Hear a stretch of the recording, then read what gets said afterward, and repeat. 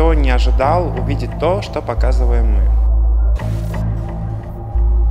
Много секса, много подтекста религиозного, политического и так далее.